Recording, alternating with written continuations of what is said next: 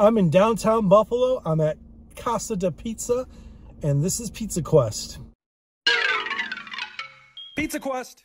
Hey everybody, Sweatpants Joe here, and this is Pizza Quest, where I'm on a quest to try all the slices of pizza. Today I'm in downtown Buffalo on Mohawk Street. I'm at Casa-Di-Pizza, and uh, got a couple slices of cheese pizza. They were out of pepperoni slices. Couldn't wait, I'm hungry. And I gotta get back home and get to work. Anyway, here's a shot of the pizza.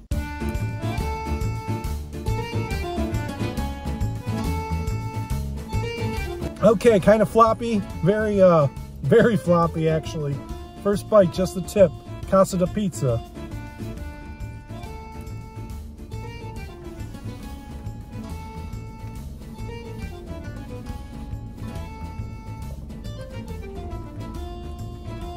Very heavy on the cheese. A lot of cheese going on with this slice.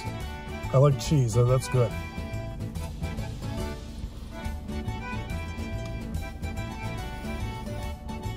Very, very heavy cheese.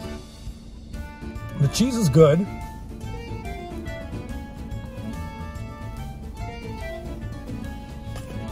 Very heavy cheese. The sauce isn't bad. It's a little on the sweeter side. Let's bite of the crust here.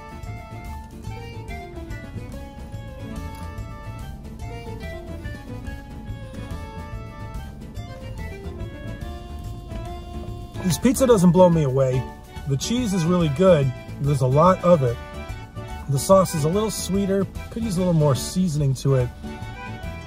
The crust is chewy and soft, which I like. Um, pizza Quest, I score 0 through 10. I'm going to give Casa-Di-Pizza, I'm going to give it a 6.7. It's not terrible. It's not going to blow you away. Uh, I definitely wouldn't come out of my way to go here. But if you work over here and you're in walking distance, not a bad choice. Let me know in the comments below. Have you been here? What are your thoughts? Thank you guys for watching and rock on.